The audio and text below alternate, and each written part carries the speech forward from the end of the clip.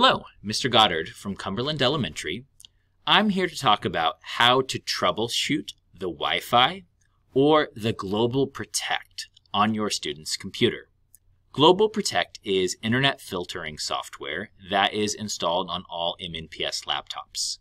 For the laptop to connect to the internet, it needs to be connected to Global Protect as well. So, even if it looks like your computer is online, like mine is right here, I'm logged into a Wi-Fi hotspot called MNPS HAHS.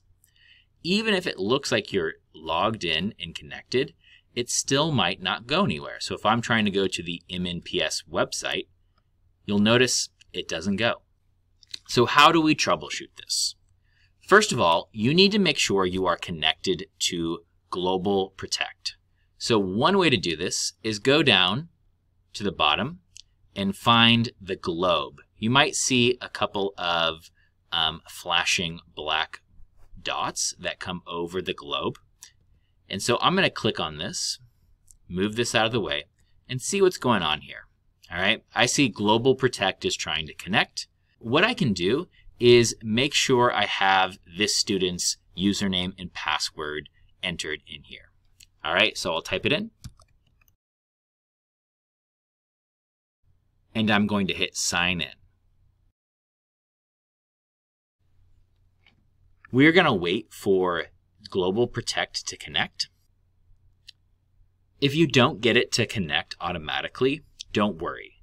First of all, make sure their username and password are exactly correct. Remember, the username does not have at mnpsk12.org at the end. Then, if you do have it correct, I would try it again. Maybe even restart the computer and try it again that way. If you don't get it after three restarts, um, then we might need to have you come in to an MNPS building to sync your device to our network.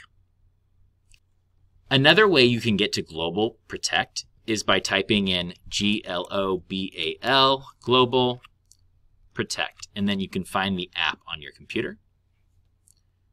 And click it, and it will come up in the bottom right-hand corner of your screen.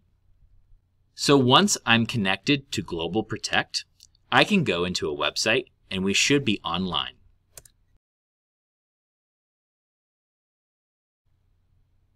All right, perfect. Now my student is ready to go and I can head over to clever.com slash in slash MNPS, get them logged into Schoology, and get started. Get them logged into Schoology, log in with their email and password or Office 365. This student's already logged in. Scroll down and head over to Schoology.